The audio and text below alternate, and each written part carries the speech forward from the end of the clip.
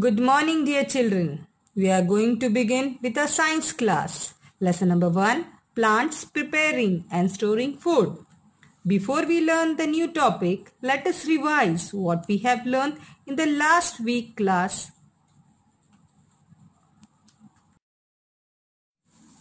Children, we have learned about the presence of green color substance in the leaf called chlorophyll. Green leaves need air, water and sunlight to prepare their food. Green leaves prepare their food in the form of sugar and gives out oxygen.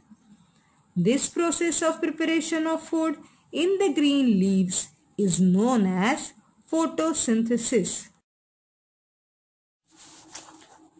We have also learnt about the part of the leaf, the main vein and its function which carry water and minerals to all the cells of the leaf. We have learned about stomata present in the lower surface of the leaf. We have also learned how plant stores its extra food in the form of starch in leaves, stems and roots. We have also learned about some unusual plants like cactus, mushrooms and molds. Now today we are going to learn about some simple experiments to detect the presence of starch in the green leaf, why sunlight and chlorophyll is important for the process of photosynthesis. Of course, we are going to perform these experiments in our school laboratory but for now, we will learn the steps to perform these experiments. Now let us learn the steps involved in detecting the presence of starch in leaf. Step 1. Pick a fallen green leaf of a healthy plant. Bleach the leaf by first boiling it in water and then in alcohol. Children, alcohol is a liquid which helps in removing the green color of chlorophyll from the leaf till the leaf loses its green color. Then wash it in cold water. Now add a few drops of iodine over it.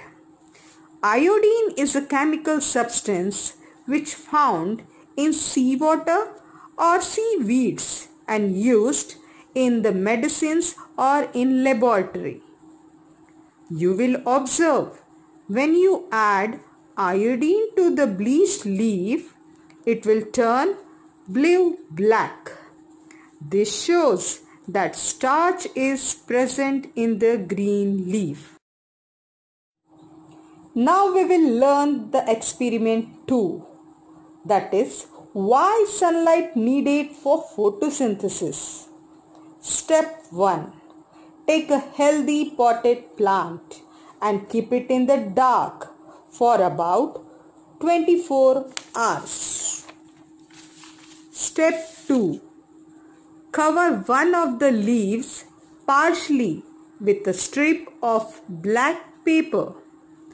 Keep the plant out in the sunlight for 4 to 5 hours. Step 3.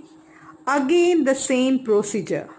Bleach the covered leaf by first in boiling water and then in alcohol.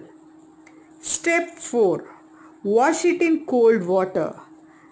Add a few drops of iodine.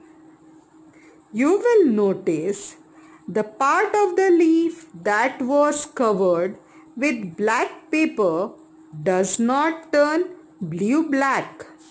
That means this part of the leaf does not contain starch because it did not get the sunlight. This shows that sunlight is needed for photosynthesis. Now we are going to learn the third experiment. It is to detect the need of chlorophyll for photosynthesis. Step 1. Take a coleus leaf. It is a leaf which is having green patches or spots on its surface. Draw a outline on a sheet of paper. Mark the green and non-green areas. Step 2.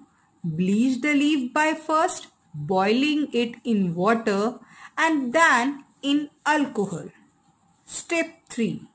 Then wash it in cold water and add a few drops of iodine. Step 4.